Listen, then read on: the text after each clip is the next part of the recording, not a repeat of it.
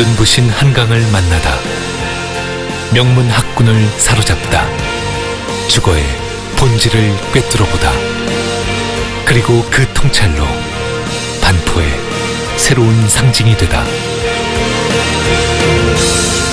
반포를 즐기는 새로운 insight house 인시그니아